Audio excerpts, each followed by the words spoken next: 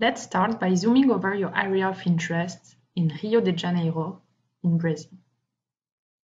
Open up the OneAtlas plugin to access our satellite imagery catalog. A link to download it is available in the video description.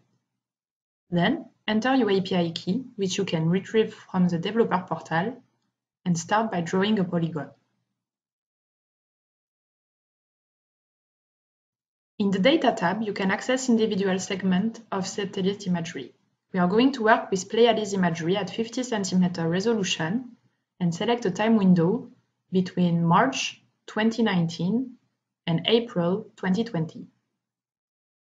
We are going to observe the human activity changes over Copacabana during this time frame. 53 results have been found.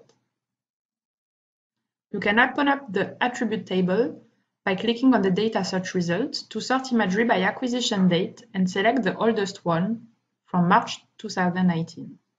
Then, select Multispectral Display to display the image on the background layer. To make it more convenient, you can rename the image by its date.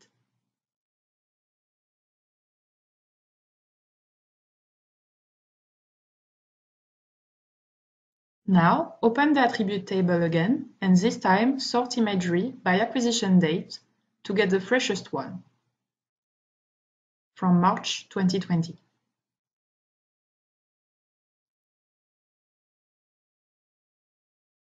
Select the multispectral display again to display the image on the background layer. And rename the image with its date.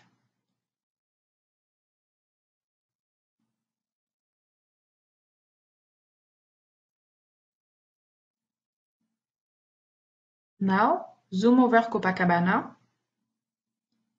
By zooming, you're going to access the full resolution satellite imagery.